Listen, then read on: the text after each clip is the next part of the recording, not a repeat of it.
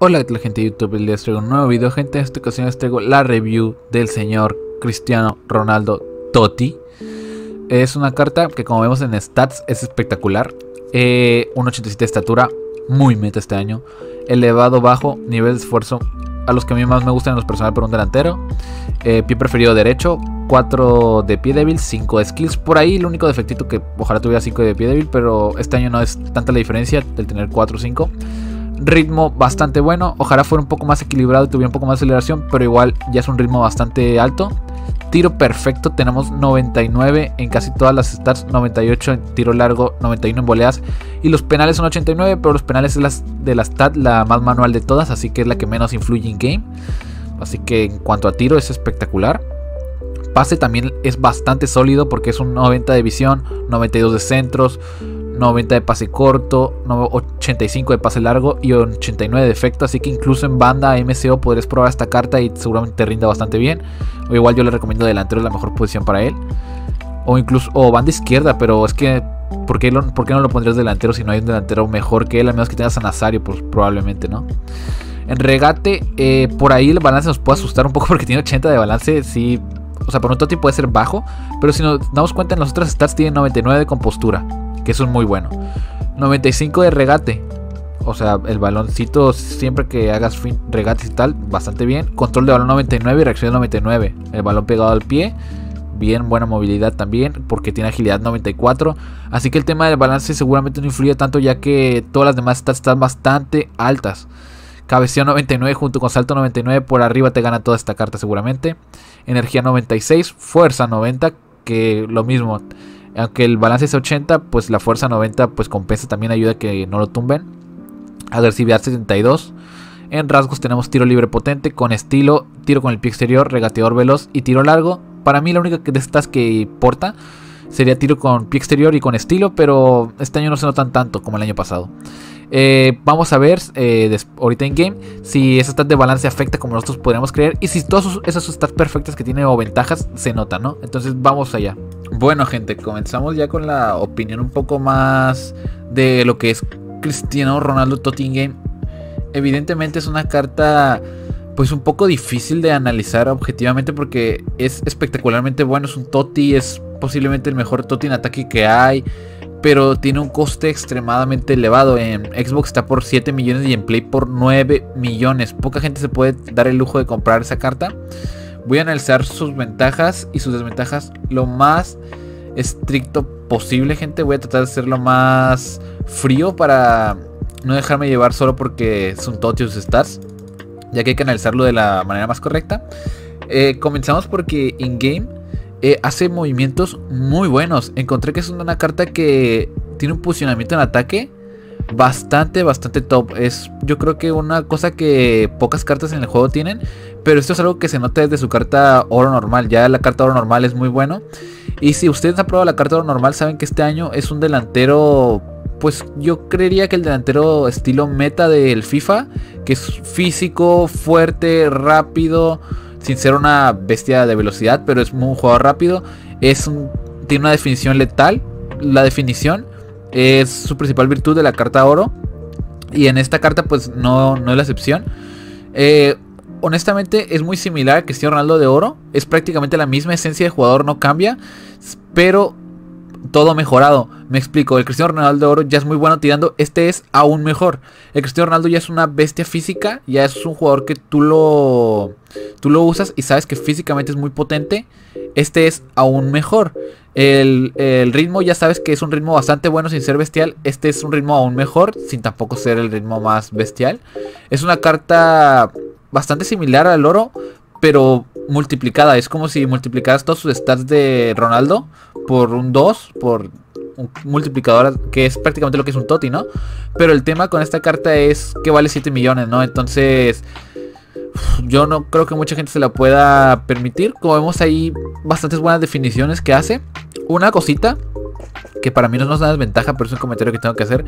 Es que es una carta que tiene un tiro tan, tan preciso, por decirlo de alguna forma, que hubo ocasiones en las que tuve fácilmente unos 3-4 postes con él.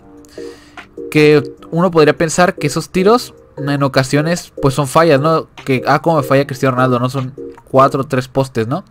Pero realmente lo que noté es que esos, esos tiros eh, con otro jugador, de repente otro delantero que no tenga un tiro tan bueno, ni siquiera hubieran ido al poste, hubieran ido, los hubiera volado. O sea, eran tiros bastante complicados realmente que con Cristiano fueran al poste.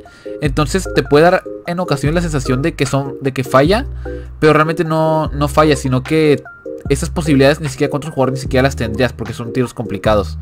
Pero pues todos los otros tiros, o sea, los mete brutal. E incluso los tiros complicados, bastante complicados, muchas veces, la mayoría de las veces los anota. Es, el tiro es su principal virtud.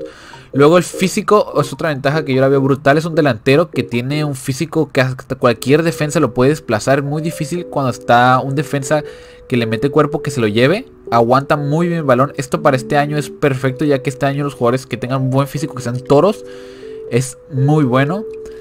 El, el 5-4 de estrella, 5 de skills, 4 de pie es un plus bastante bueno porque hace que te puedas hacer una, las skills meta de este año, que puedas regatear, llevarte a los jugadores.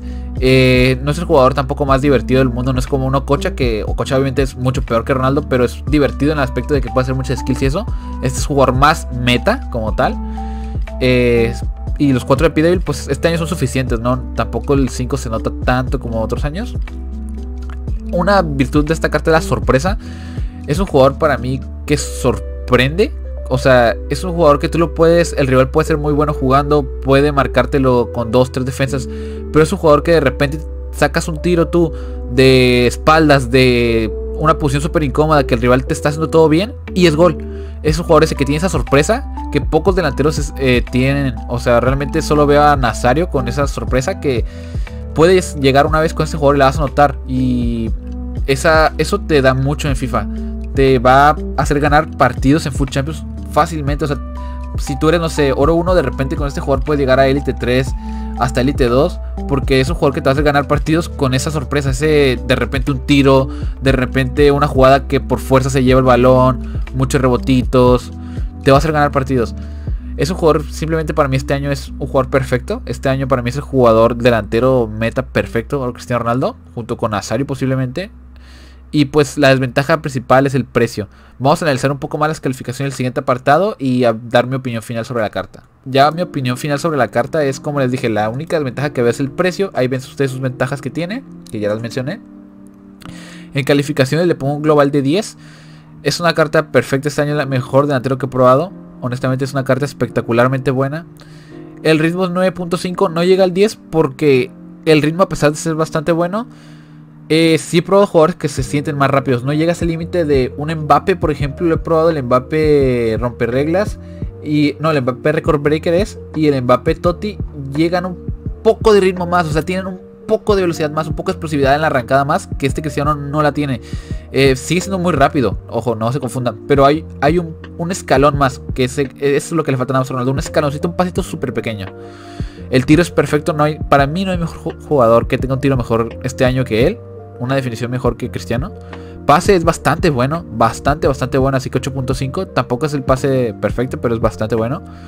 Regate 9. No es un regate como el de estilos, como lo mencioné ya, Neymar o Cocha, Messi.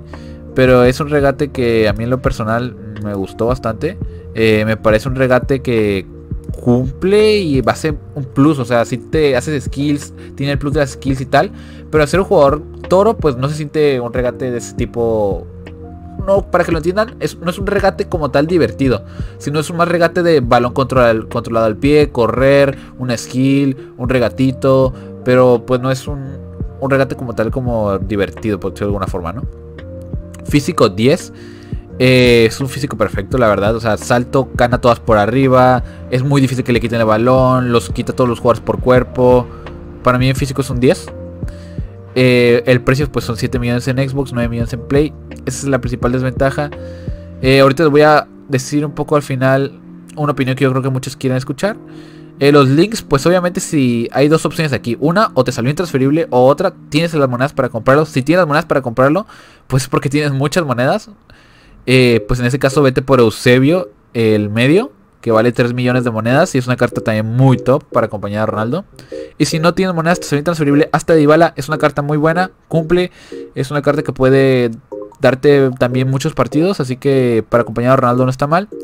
Una alternativa, irónicamente, es el mismo Cristiano Ronaldo en su carta oro, porque se van a dar una idea bastante buena de lo que es Totti. Es Cristiano Ronaldo oro, es, es prácticamente la misma carta, o sea, es, es prácticamente igual en todo, simplemente que este es aún mejor. Por ejemplo, en desventajas de Cristiano Ronaldo oro, pues sería también nada más el precio que ni siquiera sé si colocarlo en desventaja porque no es tan, tan caro.